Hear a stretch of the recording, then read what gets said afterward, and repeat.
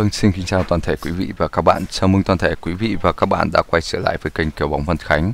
Thì uh, trước khi lên video đầu tiên cho anh em trong ngày hôm nay, thì uh, mình cùng điểm qua cái video mình lên cho anh em vào chiều tối ngày hôm qua. Trận đấu ở Europa League, trận đấu giữa Genka gặp Olympiacos thì uh, thực sự là rất đen đổi đúng ra là có lẽ là sẽ bú full được hai mã kèo mình đưa cho anh em đó là kèo HT và kèo FT nhưng mà mình xem đến phút 80 thì uh, lại uh, đi ra ngoài ngồi hút thuốc thì quay vào đã thẻ đỏ rồi. Thì kết quả cuối cùng như anh em đã biết là một đều FT thì uh, anh em ăn được mã HT còn lại thua kèo FT như vậy là hòa anh em nhé thì uh, hiện tại mình đang có ba nhóm chơi uh, một nhóm tele cũng như là hai nhóm zalo thì ờ, với những anh em nào mà cần một nhóm để giao lưu học hỏi kinh nghiệm cũng như là để ờ, tham khảo những mã kèo của những anh em mà trong nhóm ờ, có kinh nghiệm thì hãy liên hệ với mình qua số Zalo 0777 625 963 cũng như là uh, tên này à còng Văn Khánh 210789 anh em nhé thì uh, anh em liên hệ với mình qua tele thì anh em nên gọi để check giọng nói xem có chính xác không nhá. Tại vì tele giờ giả mạo rất là nhiều. Thì uh, với những anh em nào mà cần chơi những mã kèo riêng thì uh, mình vẫn đưa cho anh em nhá. Mình vẫn đưa cho anh em những mã kèo riêng như ông em này thôi. Nói chung là anh em bú no thì chắc kiểu gì mình cũng có cà phê uống phải không ạ? Nên là những anh em nào mà cần mã kèo riêng thì cứ liên hệ với mình. À, còn với những anh em nào mà đây hai ông em này thì lúc nào cũng thế cứ chiều là mình đưa kèo cho hai ông em này. Cho nên là anh em nào mà cần một uh, nhóm chơi để giao lưu học hỏi kinh nghiệm một trang chơi trả trước uy tín rút nạp uh, ok ngày rút được nhiều lần thì hãy liên hệ với mình qua số Zalo và tên này đang chạy trên màn hình. Rồi tiếp theo thì mình sẽ lên cho anh em trận đấu uh, sớm ở ngoại hạng Anh trận đấu giữa Nottingham Forest gặp Sheffield United. Trận đấu này sẽ diễn ra vào lúc 1 giờ 45 sáng sáng mai anh em nhé. Thì ờ, như anh em đã biết rồi, ở trận đấu này thì ờ, hai đội gặp nhau sau khi cùng thua ở trận đấu mở màn ngoài hạng Anh. Với ờ, Nottingham Forest thì họ có vẻ là tốt hơn ở trận đấu đó thì gần như tất cả các anh em đều vào cửa Arsenal và anh em đã ra đảo ngắm hoàng bình minh hết phải không ạ? Trận đó thì Arsenal chấp 1,5 trái mà kết quả cuối cùng là chỉ là 2-1 thôi. Còn trận đấu giữa Sheffield gặp Crystal Palace thì uh, Sheffield đã thua ngay trên sân nhà với tỷ số 0-1. Và anh em nên biết rằng thì uh, Sheffield mới trở lại ngoại hạng Anh ở mùa giải này thôi. Cho nên là ở trận đấu này mình sẽ không đánh giá cao cửa thắng nhá, cửa thắng cũng như cửa hòa của thằng ở uh, Sheffield luôn. Với điều kiện của một câu lạc bộ vừa lên hạng thì khả năng cao là sẽ thua, mình nghĩ là như vậy phải ít, sau ít vòng đấu nữa khi họ ổn định lại thì uh, có thể là họ sẽ đạt tốt hơn. Ở trận đấu này thì uh, như anh em thấy ở đây Nottingham Forest nó sẽ ra sân với sơ đồ 4312 Đá cao nhất trên hàng công sẽ là số 20 Benan Johnson và số 9 Taigu Angonizi. Hỗ trợ cho hai cầu thủ này sẽ là Morgan Griffith Uh, à, Tiền vệ trung tâm thì uh, chắc chắn rồi sẽ là số 5 Ozen Magala, hai tiền vệ hai cầu thủ chạy cánh sẽ là Zayan Zate và Danilo. Ở hàng phòng ngự thì uh, số 19 uh, Musa Nikate và số 30 Winnie Buni sẽ là hai trung vệ. Hai trung vệ anh em nhé. Còn hai cầu thủ hai bên cánh thì sẽ là Ona Aina và số 24 Sergio Azu. Thủ môn sẽ là số 1 Matt Turner Bên phía đội khách Sheffield thì ờ, họ sẽ ra sân với sơ đồ 352. Đây là một sơ đồ vòng ngự anh em nhé. Họ đá rất tập trung ở tuyến giữa. Đá cao nhất trên hàng công thì sẽ là số 32 William Osuna và số 11 Benier Chauze. Ở tuyến giữa thì ờ, sẽ gồm số 16 Norwood, ờ, số 38 Hammer, số 3 No Nop, uh, số 25 uh, Simale và số 2 Bandok. Nói chung là trong năm cầu thủ ở tuyến giữa này thì sẽ có hai cầu thủ chơi rất thấp đó là số 3 và số 2 nhé anh em. Số số 3, số 2 sẽ lùi về rất thấp. Đây gần như là hai cầu thủ đá tiền vệ phòng ngự anh em ạ. Còn số 15 ở chấn giữ trước khung th uh, khung thành của thủ môn ờ, uh, Fordezinham sẽ là Amedozic, uh, số 12 John uh, Egan và số 19 Jack Robinson. Như vậy là anh em có thể thấy là hai đội này sẽ ra sân với sơ đồ khác nhau.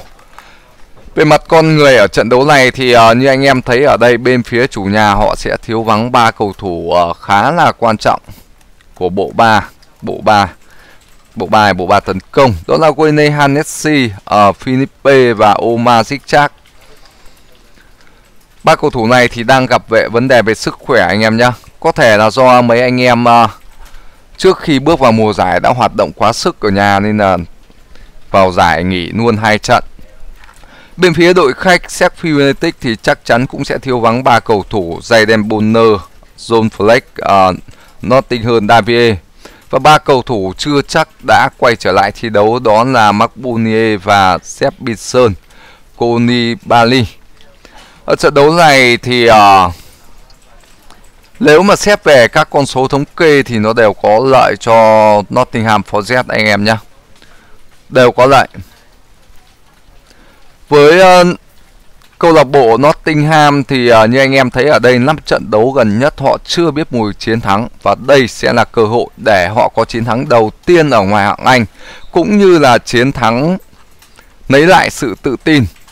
Sau trận thua Arsenal thì mình uh, có thể anh em có thể thấy rằng anh em chứng kiến trận đấu đó thì họ đã không từ bỏ, không từ bỏ khi mà đã thua Arsenal 2-0 rồi ở trên e-, sân Emirates. Cho nên là trận đấu này thì mình đánh giá cao khả năng Nottingham Forest sẽ giành được 3 điểm, anh em nhé. Còn với Sheffield thì họ còn gây thất vọng cũng không kém phần đâu, anh em. năm trận đấu gần nhất họ cũng chỉ thắng được một trận và thắng được đội câu lạc bộ Derby County thôi ở một trận giao hữu thì nó chả có gì cả. Còn lại thì họ thua rất tiết đam rồi thua Gizona của Tây Ban Nha với tỷ số 1-0, 2-0 và thua Stuttgart của Bundesliga với tỷ số 0-3. Điều đó chứng tỏ rằng là với Sheffield thì ờ, khả năng ghi bàn anh em thấy ở đây rất kém. Và trận đấu này khả năng cửa xỉu sẽ rất cao anh em nhé. Cửa xỉu mình nghĩ là cao. Nhưng mà mình sẽ không cho anh em xỉu. Nếu mà anh em nào máu thì có thể đầu tư vào kèo xỉu HT được. Nhá. Xỉu HT mình nghĩ là hòa đến bú thôi anh em có thể đầu trận đi xỉu được, đi xỉu, đánh nhẹ thôi, đánh văn nghệ và anh em nào vốn mà một vài chục củ thì anh tạm vài củ, nhá có thể là bán hoặc quay động được mình nghĩ kèo xỉu hiệp một là một hòa thì mình nghĩ là hòa khả năng hiệp một sẽ có một bàn Sheffield nó à, thằng Nottingham Forest chắc chắn nó phải dồn lên đá tấn công rồi thì uh, trong 77 lần gặp nhau trước đây thì Nottingham nó có vẻ nhỉnh hơn anh em nhá khi giành được 29 chiến thắng để thua Sheffield 25 lần và có 23 lần hòa. Thì uh, trong 3 trận đấu gần đây thì hai đội rất là cân bằng. Hai trận diễn ra với tỷ số 1-2 và một trận diễn ra với tỷ số 1-1. Tính xa hơn 10 trận đấu gần đây thì uh, có vẻ là nó 7 trận đấu gần đây thì nó lại nghiêng về Nottingham anh em nhé. 7 trận đấu gần đây thì Nottingham có 3 trận thắng và Sheffield có 2 trận thắng. Còn lại hai trận hòa. Và trận đấu này thì mình đặt cửa cho Nottingham vì họ là đội chủ nhà. Đội chủ nhà cũng như họ là một đội ở ngoại hạng Anh. Còn Sheffield chỉ là đội vừa lên hạng thôi anh em nhé. Thì trước khi vào đi vào chốt kèo cho anh em thì uh, mình thông tin thêm thì uh, với cái mức kèo tài 2.25 FT này thì khả năng cao nó sẽ về hai bàn nhà cái họ đang đưa ra mức kèo có thể là một đều. Nhưng mình đang rất mong trận đấu này nó sẽ diễn ra với tỷ số 1-0 từ hiệp 1 và cái mức kèo mình đang hướng đến để đầu tư để đưa cho anh em tham khảo sẽ là kèo chấp HT và kèo chấp FT anh em nhé. Còn với kèo xỉu và như mình vừa nói thì anh em có thể đầu tư nhẹ nhàng thôi, chơi văn nghệ thôi nhá. Thì uh, mình thông tin thêm cho anh em thì uh, có đến 8 trên 9 trận đấu gần đây của Nottingham và 5 trên 7 trận đấu gần nhất giữa hai đội cùng với 5 trên 7 trận đấu vừa qua của Sheffield có dưới hai bàn thắng trở xuống. Và có 3 trên 4 trận đấu gần đây Nottingham đã giúp anh em đầu tư vào họ có lợi nhuận. Còn với Sheffield thì 5 trên 6 trận đấu vừa qua họ đã làm anh em uh, thua tan nát. Cho nên ở trận đấu này thì với các con số thống kê thì uh, anh em cũng không nên tin quá đâu ạ. Nhưng mà với lợi thế, thế sân nhà thì mình đặt cửa cho Nottingham anh em nhé trận đấu này thì có thể là tỷ số 1-0 hoặc là 2-1 mình nghĩ là như vậy. Còn đối với kèo góc thẻ thì uh, hiện tại uh, đội hình chính thức chưa có nói chung kèo góc thẻ ít khi mình uh, sẽ đưa ra trước trận đấu cho anh em lắm. Nhưng mình sẽ thông tin cho anh em thì uh, cả 6 trận đấu gần đây giữa hai đội số phạt góc đều chạm mốc 10 tức là tài góc anh em nhá. Tài góc kèo tài góc thì anh em có thể tham khảo nhá. Thì mình sẽ đi đến chốt kèo cho anh em ở trận đấu này. Mình sẽ chốt kèo cho anh em anh em hãy đánh mạnh tay big big luôn nhá kèo Nottingham chấp 0,5 FT hoặc nếu anh em nào đánh cái kèo Nottingham chấp 0.25 HT này rồi thì anh em có thể đợi cái kèo chấp 0.25 này ăn cao, ăn full. Anh em có thể bích mạnh tay cho mình nhá. Mạnh tay luôn chứ không phải nhẹ đâu anh anh em ạ. Không phải sợ. Đã đầu tư là không được sợ, sợ thì tốt nhất không đầu tư anh em nhá. Anh em nào tin tưởng ở mình thì uh, đầu tư không hỏi nhiều nhá.